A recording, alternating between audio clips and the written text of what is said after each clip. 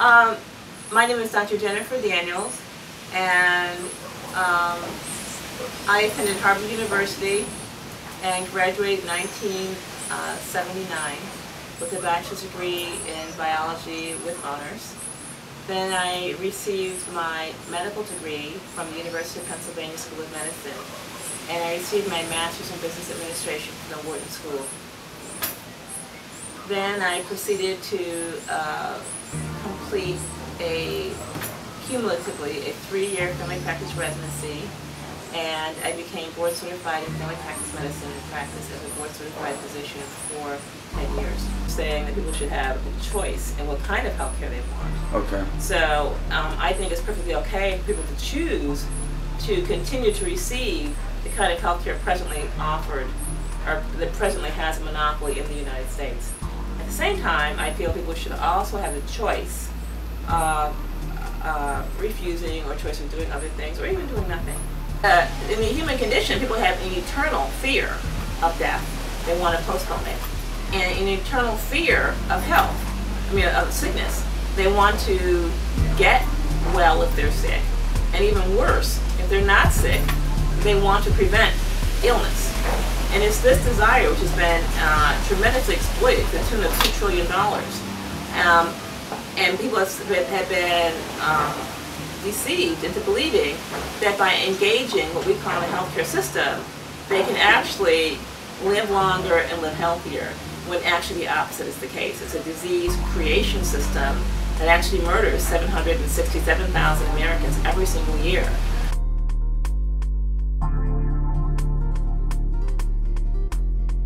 And creates death and creates illness. So you say, well, how would we take it back? I should, we shouldn't take it back. We should walk away from it. That would be like um, you have dirty clothes and you're taking your dirty clothes to the car wash to get them clean. You keep taking them to the car wash and you come back to pick them up. They're dirty, they're torn, nothing's pressed or folded, and you're very upset and you're very angry with the car wash. And the car wash says, well, if you just pay us three times as much money, we think we can do a better job. And we're going to do research and we're going to study these machines we're using and you keep bringing your clothes to car wash, and each time they're shredded. And then you go to the government "Want you regulate those car washes," when really you're using an inappropriate mechanism for cleaning your clothes. So what you should do then is wash your clothes by hand. In other words, do it yourself. The analogy in um, medicine or health would be self-healing, or get a washing machine or something more appropriate to the task of cleaning your clothes. So the present industry um, that we are now spending $2 trillion on is totally inappropriate for anyone to engage if what they're after is better health. Um, they did a study in 1983, the um, Senate Congressional Committee, and found that 85% of everything doctors are trained to do is either ineffective or harmful. And so they've recently done another study, similar study in 2010, and found that it's now 89% of everything doctors are trained to do. This is a doctor who's well trained, who's doing everything exactly as he was trained to do it, totally competent, and following all the standards of care. He is going to be harmful slash ineffective 89% of the time. And at what point do you decide that you do not want to engage a um, solution to your problems that's only 11% effective?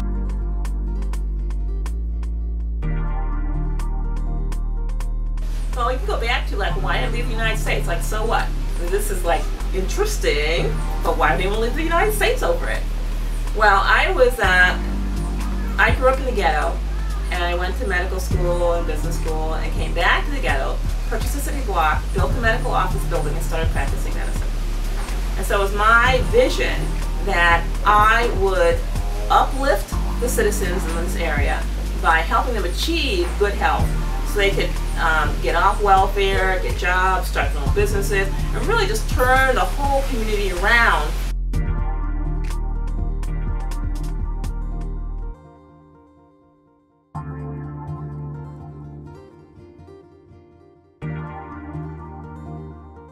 They would have good health as a resource they could use to become financially independent and enjoy their lives better. That was my view. That was my thing. Also, while I was at Harvard, I did some research on what produced good health. And so this research uh, indicated that, that healthcare does not produce good health. Healthcare has nothing to do with being healthy. Being healthy meant you had access to clean water, um, adequate shelter, and uh, adequate food, clean food. And that was it. If you had those things, then you were as likely to live to be 100 as anyone rich or poor. That's but those things you needed. And so, with that in mind, here I was, came back to the neighborhood, and so I was focused on, okay, our food supply, our shelter, and um, water. And so um, I started practicing medicine, and I noticed that um, what I was doing was totally not effective. People absolutely were not getting any results. Meanwhile, I should say previously, before I came back, I had experienced a health crisis where I became vegetarian, and boom, uh, cleared up all my uh, ailments in like 24 hours.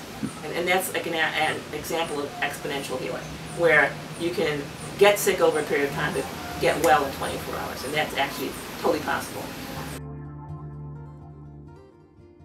But, um, so I entered the practice, I noticed what I was telling people to do was absolutely not working. Not only was not working, people were mysteriously dropping dead. I mean, I would come to work, and I would have an invitation to someone's funeral, um, accompanied by, I mean, just incredible gratitude and parts of the family that I had done so much to help the person get better. And for me, uh, the last straw was when